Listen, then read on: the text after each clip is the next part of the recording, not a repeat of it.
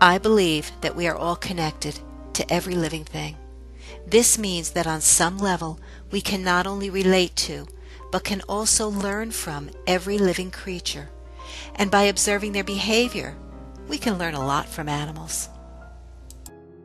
Curiosity killed the cat is a proverb used to warn of the dangers of unnecessary investigation or experimentation.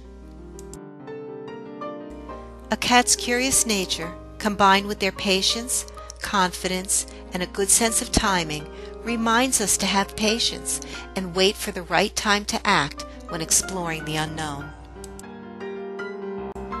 The earliest reference to this proverb was first echoed by British playwright Ben Jonson in his 1598 play, Every Man in His Humor. The famous quote is said to be a spin off of Care Killed the Cat. The word care was referring to worry or sorrow, which does make a little more sense. But curiosity? Well, if you're a cat and you have nine lives to risk, then satisfaction just might bring you back.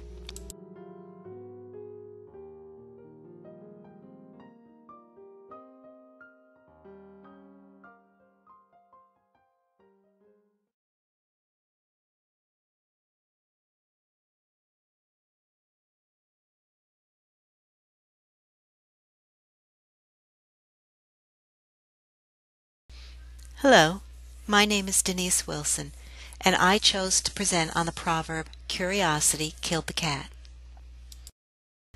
This proverb really resonated with me because I believe that we're all connected to every living thing. That means that on some level we can not only relate to, but we're also able to learn from every living creature. We can learn a lot from animals simply by observing their behavior. Proverbs are usually metaphorical examples used to describe a basic rule of conduct.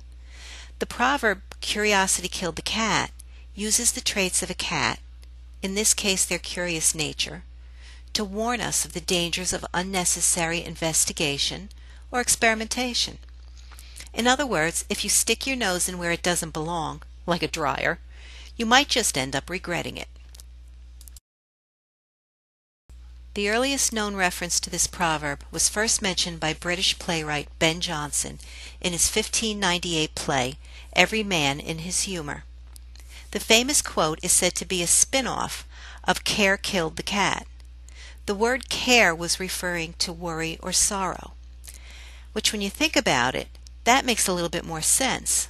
Worrying, after all, will get you nowhere. So now let's take this to a deeper level.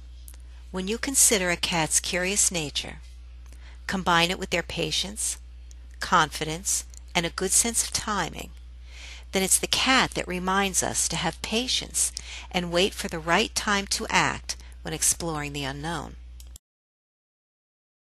And remember, if you're a cat and you have nine lives to risk, well, then maybe there isn't so much to worry about.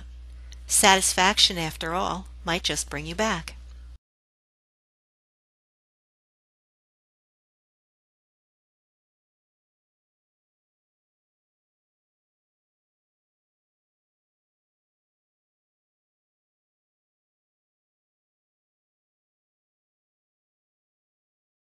Hello.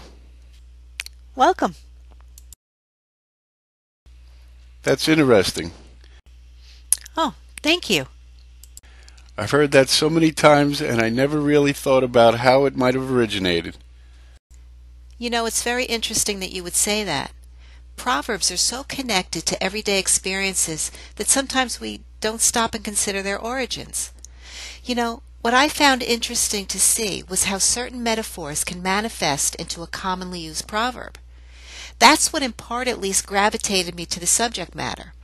Proverbs reinforce the idea of just how interconnected so many things in our lives are. This includes animals. I mean, consider the origins of the proverb.